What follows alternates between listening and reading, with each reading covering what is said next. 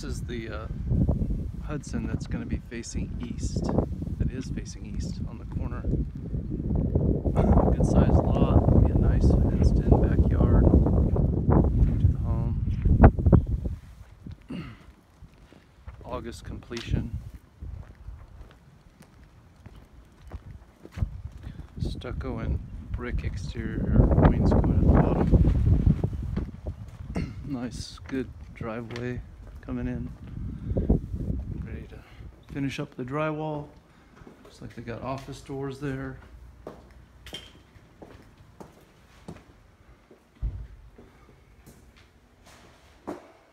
Laundry room. Front entrance and front office space. Vaulted ceiling.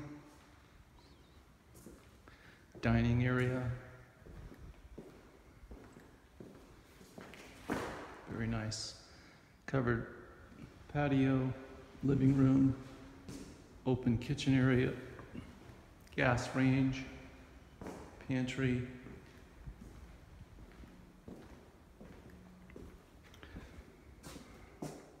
This is that Jack and Jill bathroom, tub and shower.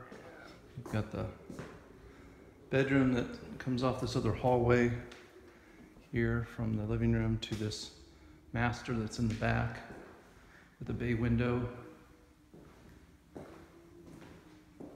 These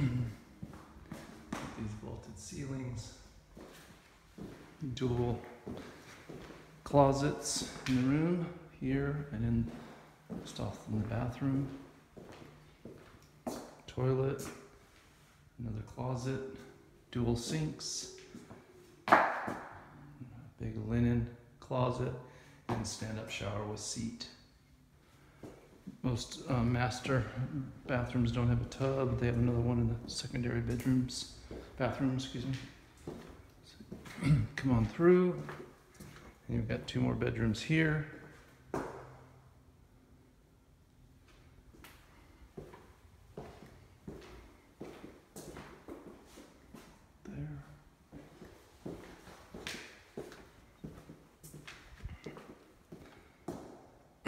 Sink right there at the at the island.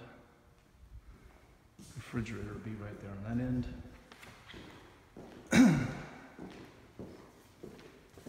a nice patio and a big yard. Fenced in. Again, this is facing east. Very good home.